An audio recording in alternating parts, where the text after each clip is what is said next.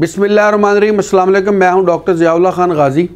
आज हम बात करेंगे उन मरीज़ों के लिए जिनके दांत के अंदर दर्द होता है और ये दर्द उसको अब आँख की तरफ़ और कानों की तरफ़ जाता है, जिसकी वजह से बहुत तकलीफ़ होती है। इससे पहले कि वो किसी डेंटिस्ट के पास जाएँ और उसको चेक करवाएँ कि इसकी वजूहत क्या है। ज़ारा अगर तो उसको कीड़ा वगैरह लगा हुआ है, ख़राब हो गई है, फिर तो उसको डेंटिस्ट ही ठीक कर सकता है। लेकिन आप उसको एज ए फ़र्स्ट एड पहले आप ठीक कर सकते हैं।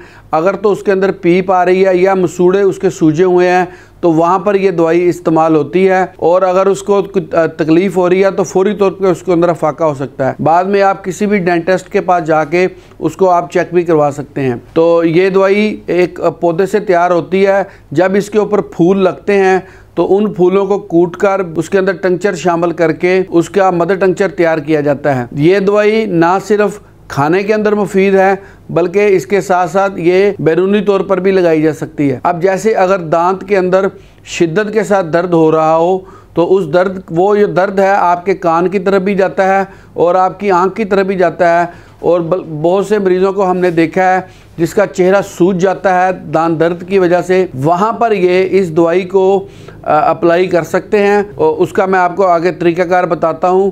कि भी इसको किस तरीके से लगाया जाता है और इसको खाने की इसकी खुराक क्या है उसके बारे में भी मैं आपको आगे जाके बताता हूँ। पहले इसकी अलामत के ऊपर बात कर लेते हैं कि इसकी अलामतों के अंदर ये होता है कि मरीज़ जो होता है, दर्द की वजह से बहुत ज़्यादा हसास हो जाता है और उसकी जो कुत समात है, वो बहुत तेज़ हो जाती है। इसलिए छोटा सा शोरगुल भी वो बर्दाश्त नहीं कर सकता। अगर शोर शोरगुल की आवाज़ आ जाए तो मरीज़ चिड़चिड़ा हो जाता है और गुस्से में फौरी तौर पे आ जाता है। तो ऐसे मरीज़ के लिए आप ये स्टाफी सगेरिया, जो होम्योपैथिक की दवाई है, इसको मदर टंक्चर्स के अंदर कॉटन के साथ लगाकर जहाँ पे दर्द हो रहा है, दर्द वाली जगह पे आप इसको रख लें तो फौरी तौर के ऊपर ये दर्द को रोक देती है। और इसके साथ साथ आप इसको दस दस कतरे सुबह दोपहर शाम एक घूट पानी के अंदर इस्तेमाल कर सकते हैं खाने के लिए भी। जब आप एक घूट पानी के अंदर इसको आप पियेंगे तो यकीनन इससे ना सिर्फ़ आपके अंदर अगर कोई इन्फेक्शन की वजह से, सोजिश की वजह से, यानी कि अगर कोई दर्द वगैरह हो रहा है तो उसको भी कंट्रोल करेगी। और इसके साथ साथ ये आपके कान के दर्द को और आँख के दर्द को भी ठीक करेगी। और होम्योपैथिक की ये दवा